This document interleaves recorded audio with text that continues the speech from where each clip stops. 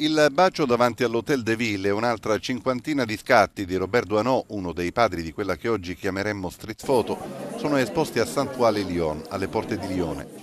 La mostra, per la prima volta ospitata nei locali della vecchia piscina comunale, permette di conoscere da vicino il grande fotografo, noto per una sincera rappresentazione della vita quotidiana a Parigi.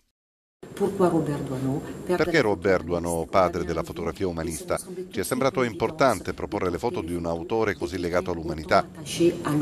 Attraverso una cinquantina di istantanee in esposizione emerge un percorso dagli anni 30 agli anni 60 e si possono ritrovare gli scatti più conosciuti di Duanot e molti altri. E tutti ci riportano a questa grande sensibilità, alla sua maniera di cercare le foto, sempre con un grande rispetto per l'essere umano.